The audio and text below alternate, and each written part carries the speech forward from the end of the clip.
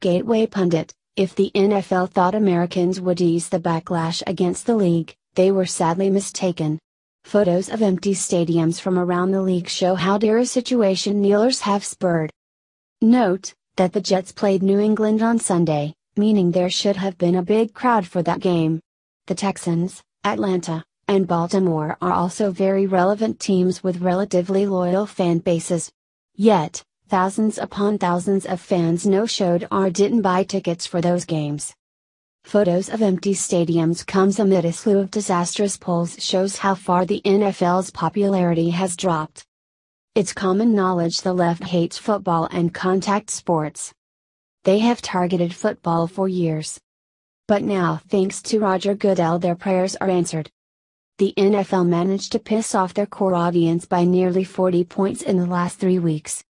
Nearly 60% of working class Trump supporters now view the NFL unfavorably. The Week reported.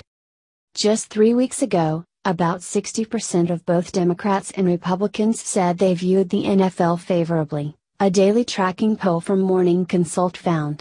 Then President Trump stepped in. After the president told NFL owners to fire players who kneeled during the national anthem, more and more players did the opposite of what Trump wanted.